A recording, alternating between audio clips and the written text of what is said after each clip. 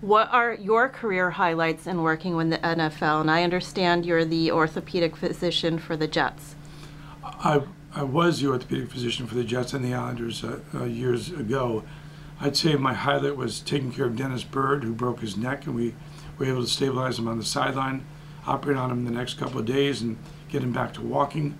Uh, I'd say Glenn Foley, who was a quarterback of the New York Jets, dislocated shoulder. We did one, some of the first arthroscopic shoulder stabilization in a professional athlete, allowing him to return to play without making a big incision in his shoulder.